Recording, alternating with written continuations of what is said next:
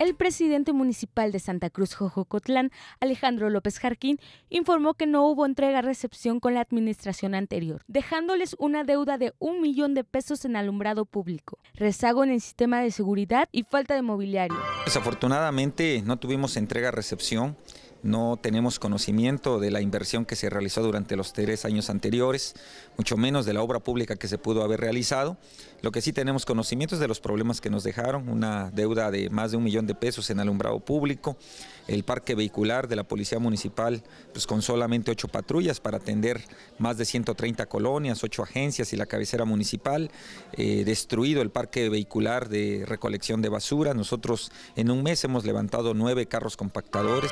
Ante esta situación, Alejandro López ya presentó quejas ante las autoridades correspondientes para que hagan una auditoría y se encuentren a los responsables para sancionarlos. Indicó que en tema de seguridad encontraron en malas condiciones las instalaciones del cuartel de policías, el cual carecía de equipo. Mencionó que solo encontraron ocho patrullas para recorrer las 133 colonias que hay en el municipio, así como falta de servicios en la recolección de basura.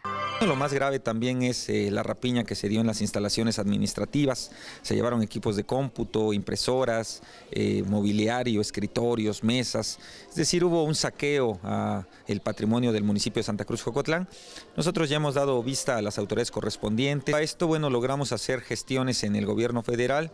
Tenemos 18 millones de pesos etiquetados en el presupuesto de egresos de la federación, precisamente para infraestructura educativa. Vamos a construir techados en varias escuelas primarias Vamos a pavimentar eh, calles de colonias en donde ya tenemos servicios básicos de drenaje y de agua y vamos a darle también una vista diferente a lo que es el casco de la cabecera con proyectos que tienen que ver con la imagen urbana, pavimentación de calles, rehabilitación del parque municipal y la rehabilitación de los panteones que son centros turísticos en, precisamente en las fiestas de muertos.